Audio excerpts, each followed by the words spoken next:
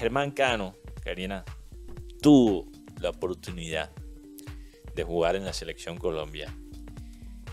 Y por un orgullo basado en nada, en mi opinión,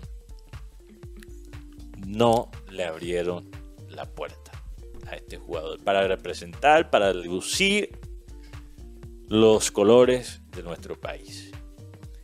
Y este es un tema aquí consistente con nuestro fútbol, orgullo.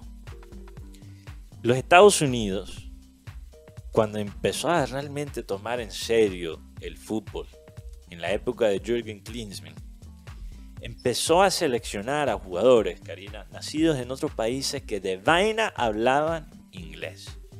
Y nosotros sabemos lo tan nacionalista que son los estadounidenses.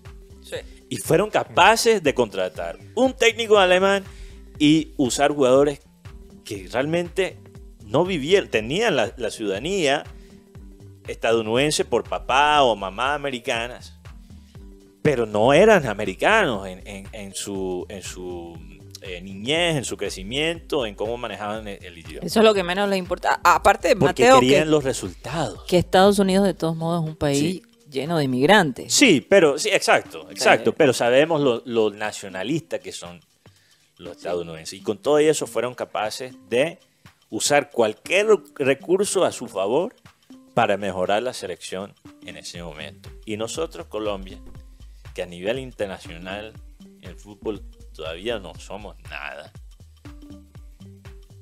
tuvimos el orgullo, la prepotencia de cerrarle la puerta a este jugador que se sentía colombiano, que le dio prestigio a nuestra liga y que la liga también lo ayudó a él.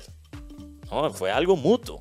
O sea, hasta cierto punto yo creo que él quería repagar la oportunidad que tuvo en Colombia. En Colombia con el DIN, donde es ídolo.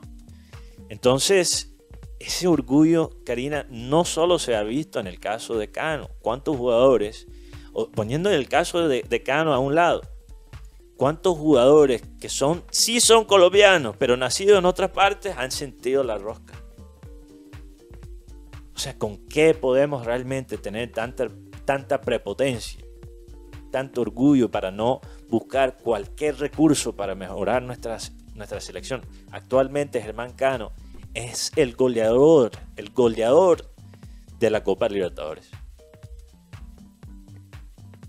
El goleador. Como si nosotros quizás el mejor 9 del continente. Totalmente, pero. Mateo, como si nos saboteáramos a nosotros mismos. Es una saboteada constante. Yo y esa es un, orgullo. temor a tener éxito. es un orgullo, en mi opinión, capitalina.